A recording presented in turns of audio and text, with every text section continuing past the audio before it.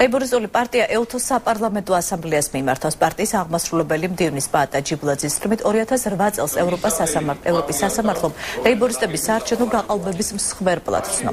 ჯიბლაძე ეუთოს საპარლამენტო ასამბლეისგან აღნიშნული გადაწყვეტილების შეფასებას მოითხოვს. თქვენ გახსოვთ იმ 23 ნოემბერს ეუთოს საპარლამენტო ასამბლეის პრეზიდენტმა ჩვენს ქვეყანაში შექმნილ საარჩევნო ვითარებას ლენინიზმი უწოდა.